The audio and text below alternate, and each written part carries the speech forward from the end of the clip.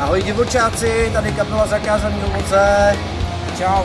Chceme vás pozvat na koncert s kapelou Jaksi Taxi do Milevska 21. července, kde zahrajeme společně. Bude to velká party, takže se tam uvidíme, těšíme se na vás. Amfík v Milevsku, těšíme se. Milevsko, Těšíme se, žije. Ahoj, čus.